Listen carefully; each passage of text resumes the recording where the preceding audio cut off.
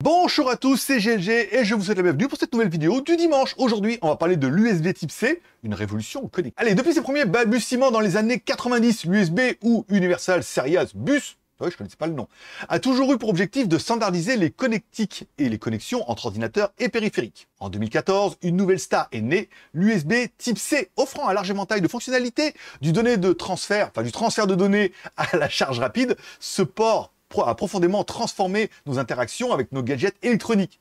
Explorez avec moi son évolution, ses multiples avantages et la progression de chaque génération d'USB Type C. L'histoire et la généralisation de l'USB Type C. L'USB Type C a été introduit en 2014, se distinguant immédiatement par son design réversible et sa capacité à supporter différents protocoles grâce à la norme USB Power Delivery. Il s'est généralisé pour plusieurs raisons, dont 1. L'universalité.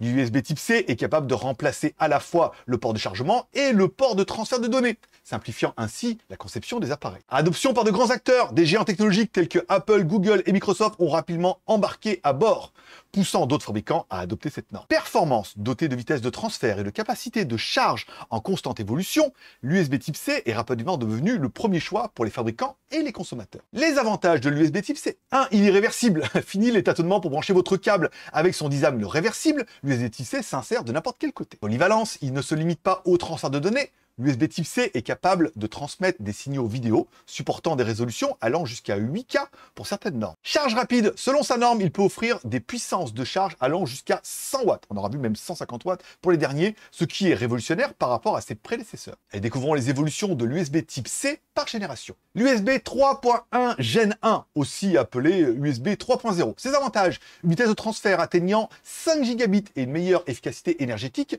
comparée à l'USB 2.0 capacité de transfert vidéo allant jusqu'à la résolution 1080p. Les inconvénients, il est moins performant que les générations ultérieures d'USB type C et une puissance de charge allant jusqu'à 15 watts ou 5 fois 3 ampères. L'USB 3.1 Gen 2, ses avantages, doublement des vitesses de transfert par rapport à la génération 1, atteignant 10 gigabits, supporte la transmission vidéo jusqu'à une résolution de 4K. Les inconvénients, bien que performant, il sera surpassé rapidement par l'USB Type 4. Les puissances de charge allant jusqu'à 100 watts, 20 volts x 5 ampères grâce à la norme USB Power Delivery ou USB PD. L'USB 4 ou le Thunderbolt 4, hein, en fait c'est quasiment les mêmes normes dans le même câble. Avantage, vitesse de transfert époustouflante allant jusqu'à 40 gigabits compatible avec d'autres protocoles tels que le Thunderbolt 3. Capacité de transmission vidéo jusqu'à une résolution de 8K.